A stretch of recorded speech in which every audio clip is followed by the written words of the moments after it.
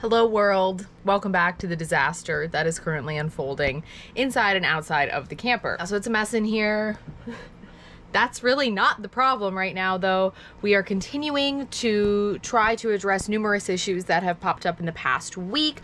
Our last video, we talked about the issues with our solar primarily that we were trying to fix. The part that we needed has arrived. Stand by. This is it. It's a miniature um, circuit breaker, and a couple people did comment on our last video saying, don't use that, use something else, that's junk.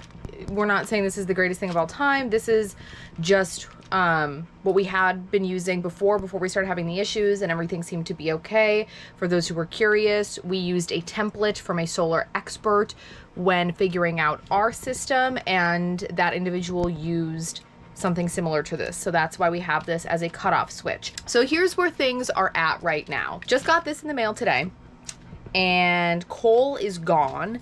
He is working on getting some of our truck issues addressed right now. So I am going to do my best to install this by myself. I think we'll be fine. The truck issues, we'll talk more about that later. There are a lot of other issues. Anyway, Cole has it at the shop right now, trying to get it diagnosed, and we're gonna see what we wanna do after that. So, let's try to get this in. All right, first things first, we have to get up on the roof to cover the solar panels so there's not a charge going through the wires while we're working on them. And I just used a couple towels for this. Nothing can be easy. I turned off the fan. Look at my hair right now. oh man, it's so hot. I turned off the fan, our um, MaxxAir fan, because I just like to unplug things before I like cut all power and when I un- when I turned off the fan, the inverter like beeped really loud.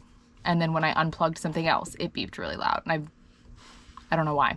That's never happened before. All right, pause for a second. Turns out there was just a setting on the inverter that Cole had changed and I didn't know. It's all fixed now. Everything's fine with that. All power is cut right now. The solar panels are covered. So now I'm going to take the electrical tape off of the wires. Here we go. Wish me luck. Okay. Change of plans. Cole took all of our tools with him, and this wire needs to be trimmed before I can reconnect it. We're just gonna wait. I'm gonna leave the panels covered, and we're just gonna wait until he gets back with tools. It's so hot outside. Ah. All right, round two. It's the next day. Got the solar panels covered up again, and now we're getting power disconnected to everything so we can install our little breaker. Here we're just checking to make sure the wires are safe before we start working with them. Cutting the wires yet. Oh, okay. Let's see if this will. Once we got those trimmed, it was time to connect them into the new switch.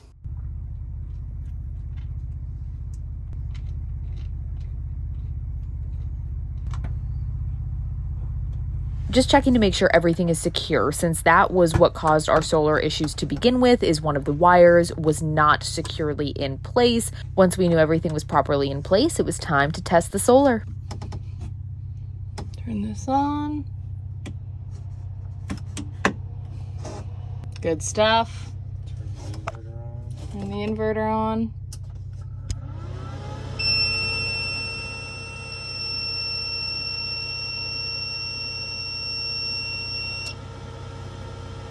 Good stuff. Ready?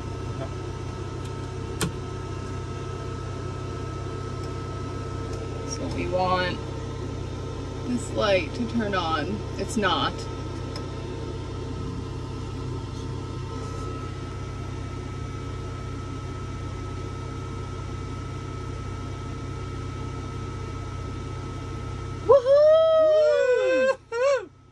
We are charging. How many amps are bringing in?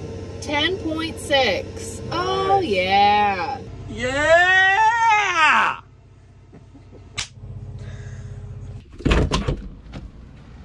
Hello? Where are those cookies? What's that? We got a truck! Hi, come on. Hi, stay back. You want to come out?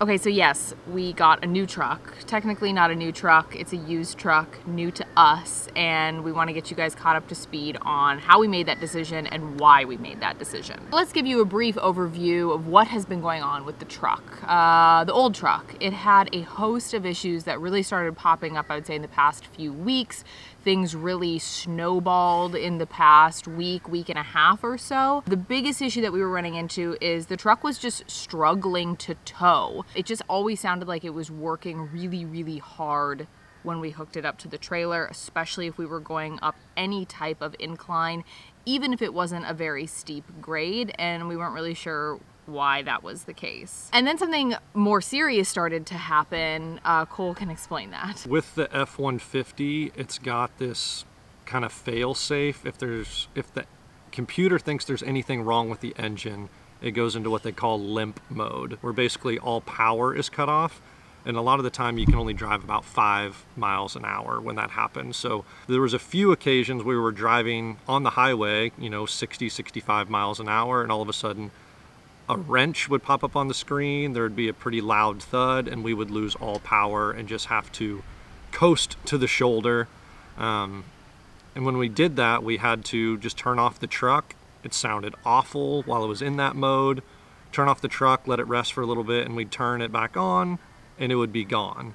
But that is definitely a safety hazard, especially when you're towing, to have the truck just lose all power when driving down the highway. So that was not great. Yeah, and that was happening even when we were just like on flat ground, not going up a hill or anything. So the check engine light came on at one point and we do have a code reader. So we ran the code and it told us that there was a bad O2 sensor, um, which we didn't think was necessarily causing us to lose power, but uh, we decided to bring it into the shop anyway and see what was going on with that. So we took the truck to a Ford dealership right outside of Seattle and I gave them the code.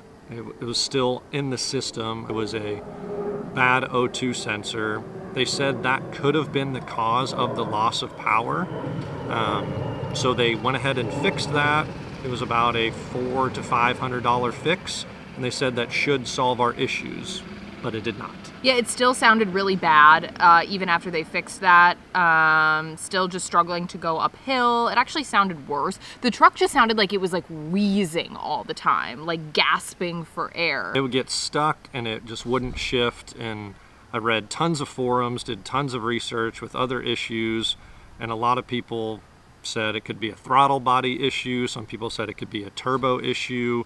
So there was lots of different things that people said could be causing this or has caused it with the 3.5 liter EcoBoost engine in the F-150 that we had. Long story short, we made the decision to trade it in. I feel like part of us traveling on the road is you have to kind of fix things on the fly and we having a reliable tow vehicle is just as important as having a good camper it's like you can't go anywhere.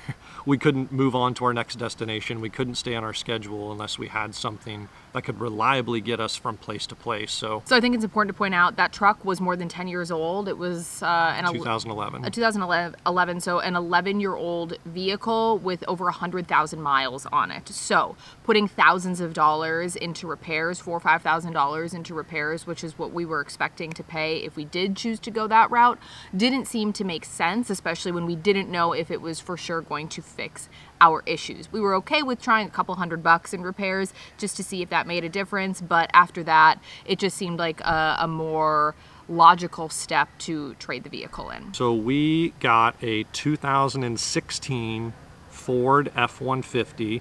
It is the XLT package and it also has the Sport package.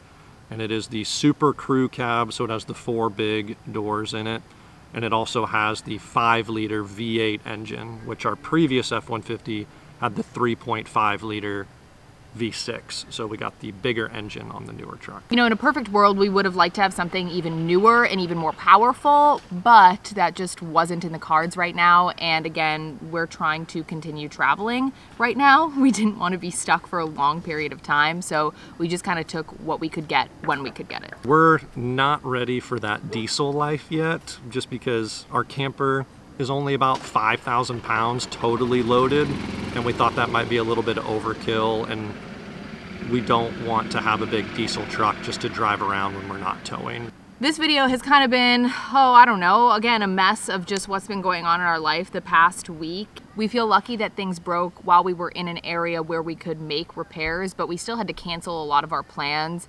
um, in order to make these repairs, and we did have to spend a lot of money.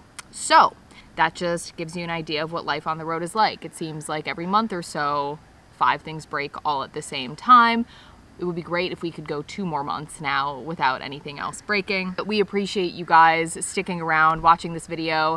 Uh, I hope it didn't bore you to death and I hope you got a kick out of watching us try to DIY fix things. I'm sure there will be more videos just like this down the road. Please drop a comment below. Don't forget to like this video, subscribe to our channel if you haven't already. We do videos like this showing you real life RV life and also fun adventure videos. Two videos a week, Monday and Friday, so hit that subscribe button. Thank you so much for watching and we'll see you in the next one.